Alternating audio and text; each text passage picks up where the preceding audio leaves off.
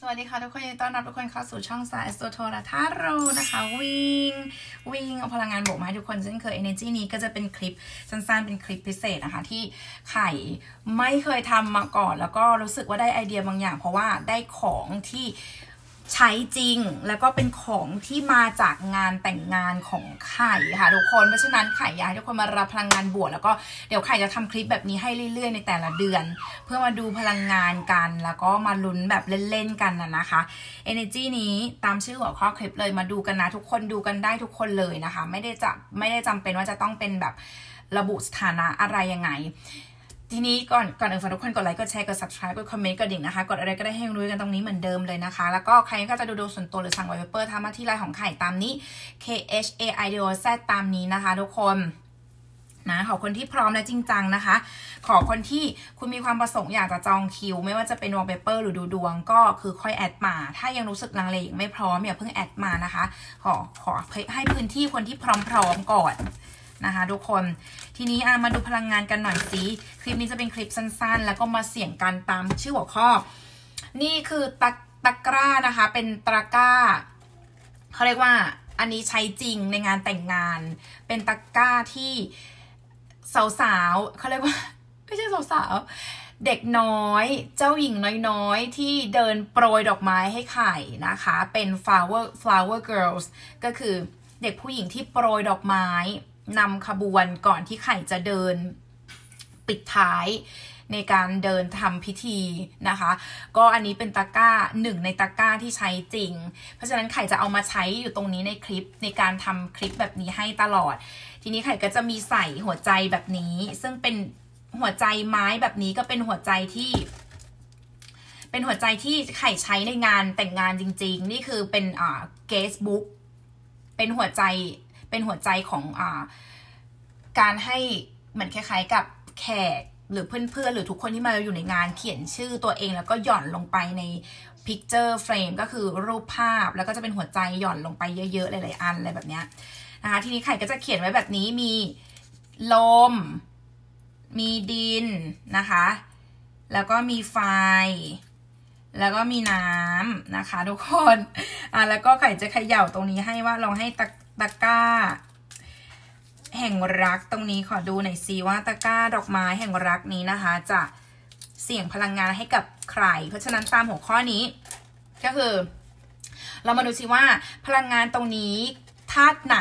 จะเป็นชาวที่โชคดีในเรื่องของความรักสำหรับคลิปนี้นะคะ อันนี้ประเดิมให้เป็นพลังงานเริ่มต้นที่คลิปเดือนนี้ แล้วเดี๋ยวใครจะทำคลิปแบบนี้เรื่อยๆ ให้ตลอดไปนะคะ เอามาดูกันหน่อยสิ จะไม่มองนะ จะไม่มองขยาขยาขยาขยาไม่มองไม่มอง ดูหน่อยสิว่าธาตุไหนธาตุไหนราศีอะไรบ้างที่จะมีพลังงานความโชคดีในรักนะคะอ่ามันก็ไม่ได้เยอะมากมันก็มีอยู่สี่อันเล็ก ๆ เพราะฉะนั้นไข่ก็จะควานควานหาอยู่ตรงนี้แป๊บหนึ่งแล้วก็จะหยิบให้นะคะ อะรู้สึกว่าอันนี้แหละ อะโอเค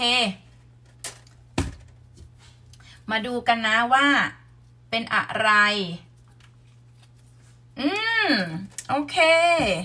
ขอแสดงความยินดีกับคลิปนี้นะคะ นี่คือพลังงานของมองอาจจะมองไม่ชัดเพราะว่าตัวหนังสือในกล้องมันจะกลับกัน เพราะฉะนั้นนี่คือลอลิงมอมานั่นคือ ลมนั่นเองค่ะ ลม อ่าโอเค พลังงานตรงนี้ไหนดูหน่อยซิว่า ความโชคดีของพลังงานธาตุลมในความรักจะเป็นพลังงานไพ่อย่างไร มาสิ่งเสี่ยงและเล่นให้การดูหน่อยสิธาตุไหนจะโชคดีในความรัก เพราะฉะนั้นอันนี้ขึ้นมาเป็นธาตุลมนะคะ ขอดูหน่อยสิพลังงานความโชคดีของชาวธาตุลม เมถุนตุลกุมจะเป็นอย่างไร ความโชคดีในความรักของชาวธาตุลมนะคะ ขอดูหน่อยสิ ความโชคดีในความรักของชาวธาตุลมจะเป็นอย่างไร ความโชคดีในความรักของชาวธาตุลมจะเป็นอย่างไร ความโชคดีของชาวธาตุลมจะเป็นอย่างไรของความรักนะคะ อ่าโอเคค่ะ พลังงานตรงนี้นะคะ energy ตรงนี้ไพ่มีพลังงานของ 8 เหรียญด้วย มันคือเหมือนคล้ายๆกับว่าเป็น energy ของความมุ่งมั่น การโฟกัส การที่ คือต้องบอกอย่างนี้ว่าลมบางท่านตรงนี้มีพลังงานของการโฟกัสกับใครบางท่านมาก ๆ ที่อยู่ในใจของพวกคุณ เออเอเนจีตรงนี้เป็นไพ่นี้ คือต้องบอกว่าลมบางคนอะอาจจะต้องผ่านช่วงเวลาผ่านเรื่องเวลาต่างๆ หรือผ่านอะไรบางอย่างกับใครที่ มันต้องทดสอบความอดทนของพวกคุณ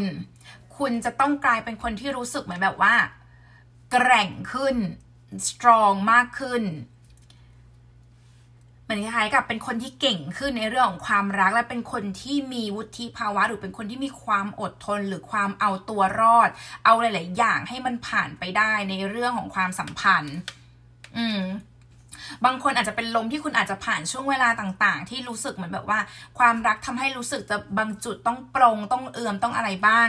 แต่ไม่เป็นไรค่ะ energy ตรงนี้ไพ่มีพลังงาน the world the world เป็นไพ่ที่ดีมากๆ มันเป็นไพ่ completion มันเป็นสิ่งที่สมบูรณ์ complete คือสำเร็จสมบูรณ์ อืม พลังงานไพ่ the world สวยนะ สวยเลยแหละ และที่สำคัญคืออะไร the world ตรงนี้เป็นพลังงานของลมบางท่านที่สามารถเกี่ยวข้องกับต่างชาติต่างภาษาได้ด้วยและไพ่นี้เป็นไพ่ของต้องบอกเลยว่า the world เป็นไพ่ใบสุดท้ายของเมเจอร์ และเป็นไพ่ที่แบบว่า เป็นไพ่ที่ครบรูปครบวงจรที่สุด ไพ่สมบูรณ์ไพ่พร้อมไพ่บริบูรณ์ไพ่เขาเรียกว่าไพ่ทั้งหมดทั้งมวลครบวงจรครบสมบูรณ์แบบอุดมสมบูรณ์อะไรแบบนี้เออ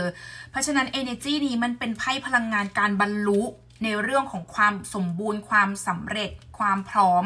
กับพลังงานรักของบางท่านของชาวธาตุลมตรงนี้ และไพ่มีหกเหรียญด้วยเพราะฉะนั้น energy ตรงนี้ คู่รักบางคู่ของลมบางท่าน มันจะมีการคาดหวังกับในเรื่องของความรักที่มันรู้สึกสมบูรณ์ ลงตัว พร้อมและอยู่ในจุดที่มันแบบ balanceได้อยู่ตรงนี้ เพราะฉะนั้นพลังงานความอุดมสมบูรณ์ความพร้อมและความความสมดุลมีให้อยู่กับชาวธาตุลมตรงนี้มากๆ เพราะฉะนั้นใครที่มีแนวโน้มที่ดี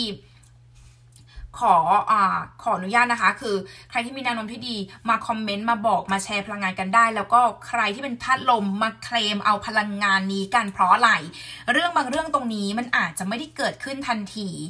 แต่มันมีอิทธิพลอยู่ตรงนี้ให้กับลมบางท่านตรงนี้แน่นอน เพราะว่า